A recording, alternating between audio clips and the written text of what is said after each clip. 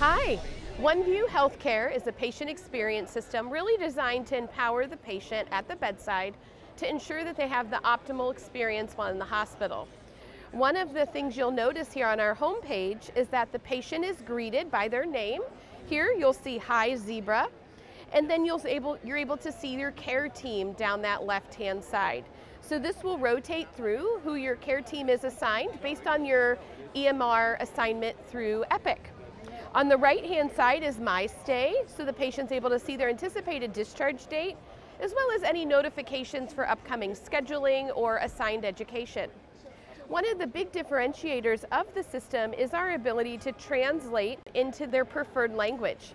We currently have translated up to 28 languages, right to left and left to right, but this ensures that the patient is greeted with a device, that it is in a language that they're comfortable in so that they are able to uh, feel welcomed and empowered and included during their stay.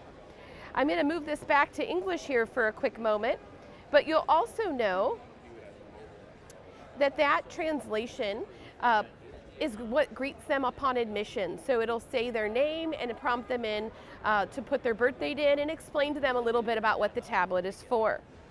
Um, one of the top areas that the patients like to use on the tablets are entertainment. So if we click here, we can have things like our live television, our Swank movies, which is like movies on demand and their new up-to-date uh, titles. But we also have our relaxation content. So these are titles such as, you know, Babbling Brooks, Your White Noise, Guided Meditation, all things that are going to help that patient to be relaxed and reduce some of the other noise that occurs inside the hospital stay. Some of those titles are even able to be nine, ten hours long so that it could cover the majority of their sleeping hours.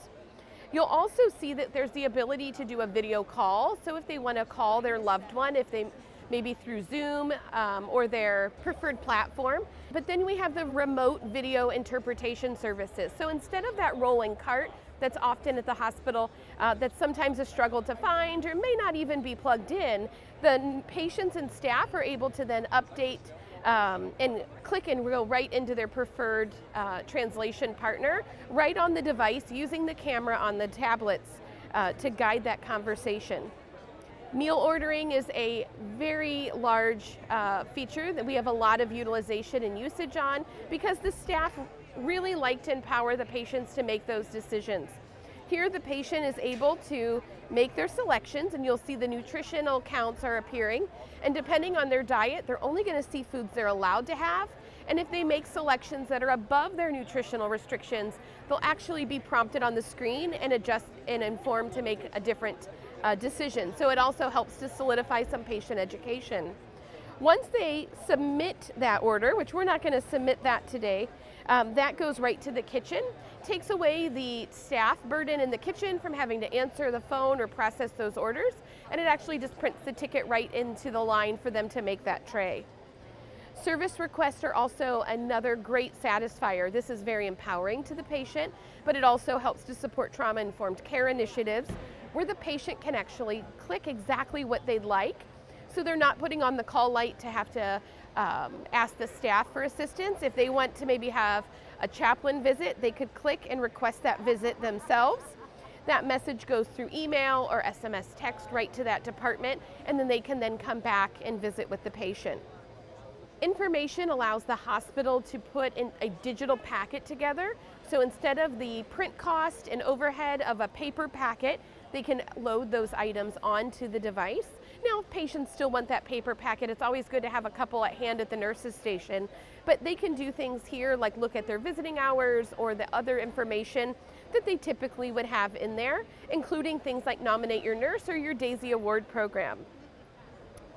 Room controls is a nice feature, really common in our new builds or if it's a construction um, site, but here the patient in the bed is able to do things like control the temperature or the shades or the room lighting.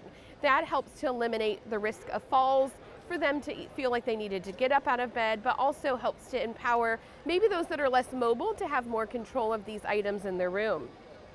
And last, but certainly not least, is our My Stay overview tile. Their digital whiteboard in the room is a great tool, but what we've heard is it's often not updated by staff in a timely way, but also patients are really sensitive about what information is written there. So with the My Stay Overview tile, we're able to, on demand, allow the patient to see key items about their stay, including things such as their plan or their schedule, and that can come in directly from the EMR.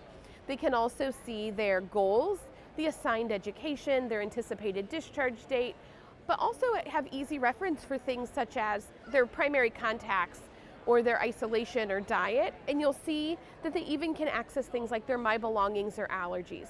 Now this is highly customizable through configuration with a series of widgets that we can then make this view very specific based on the needs in the population of a certain hospital or a certain unit. So this is just one example of the way this is set up, but using that library of widgets, the view and the focus of the information can be very different uh, for each customer. Thank you so much.